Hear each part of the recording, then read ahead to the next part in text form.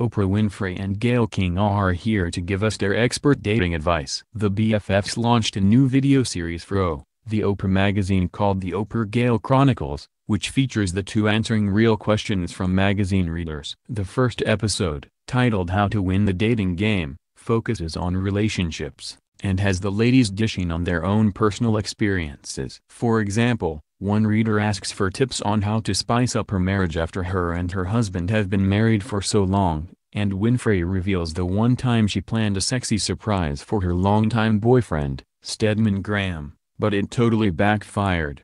One time I tried this, and this was so many years ago, I got this whole negligee thing and I'm standing at the stairs when he comes in, and he literally comes in, Stedman, walks right past me and says, what are you doing? She recalls. But King one-ups Winfrey with her own embarrassing story. King says that when she was still married, she once wrapped herself in nothing but saran wrap and a trench coat, but her husband wasn't impressed. What is that? She says his reaction was when she opened her trench coat with a flourish. That's not good for your ego. Later, the two get hilariously candid when one woman says she caught her boyfriend lying about having a job. Both Winfrey and King burst out laughing. Oh my god. This is a no-brainer, Winfrey says as she and King then say together, boy, bye. All jokes aside, the best friends do address more serious topics, such as when one 34-year-old woman asks if she made the right decision breaking up with her boyfriend after two years since he didn't want to even discuss the possibility of marriage or having kids.